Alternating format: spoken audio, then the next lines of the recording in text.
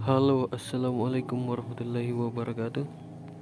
Kali ini kita saya akan mengunboxing sebuah chamber demit anu produk GS88 dengan harga 3,1 atau 3 juta 100 Oke guys simak terus videonya jika kalian suka, jangan lupa like, komen, dan subscribe. Oke guys, mohon disimak videonya sampai habis.